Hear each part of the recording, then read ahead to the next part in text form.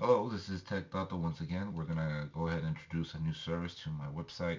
It's the removing the Google account lock found on the actual uh, device. This is what appears on your phone after you hard reset it and it had an account on it, you forgot the password, etc. This is a service that will remove the actual Google lock found on the actual device. If you find this service uh, uh, handy or needed, go to my website, techtato.com, request the actual unlock service, pay for the unlock service, and await the actual unlock instructions. Now, with this actual service, it is a bit different. Um, it will remove the actual Google account lock as showed on the image before on certain Samsung devices. Um, I am actually testing other devices, for example, the HTC, the LG, etc. Right now, I can say with 100% confidence that we can do it with the Samsung. Uh, the requirements are a functional PC, laptop, computer, a stable internet connection, a USB cable to connect the actual device when we ask you to, and the actual device must be fully charged to apply the service. Processing takes between 15 to 30 minutes. Now with this actual service, this is an actual Samsung J1 Ace that actually has the uh, Google account lock. This individual actually purchased it through a third party and the actual person forgot to remove or deactivate the actual lock.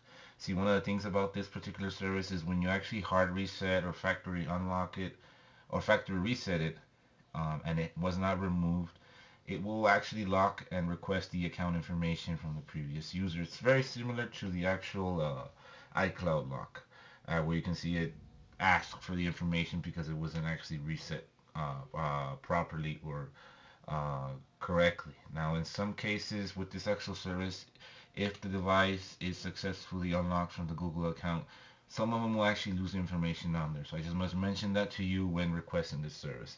This service has, at the moment does not actually remove the uh, unlock or the GSM lock on your phone. So this is simply to remove the actual Google account.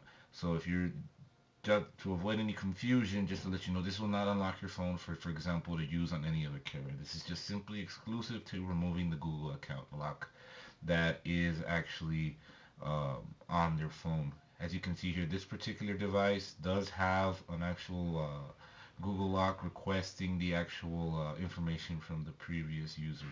A lot of this is happening because with the actual update, I think I believe it was 511, um, this actually uh, prevents users from uh, entering the device without what does not let you enter the phone without actually having information from the previous owner. As you can see here, once again, this is what will appear when you're trying to activate your phone.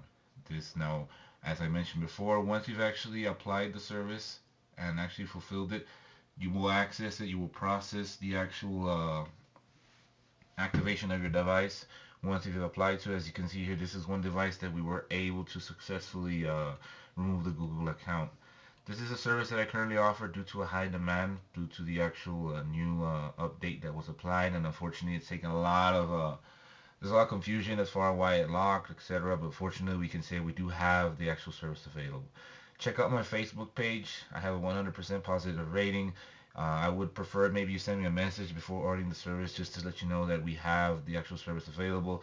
I will list the models below on my description on my YouTube channel on this actual video to show you that our services are available and which models do are available to remove the actual Google account.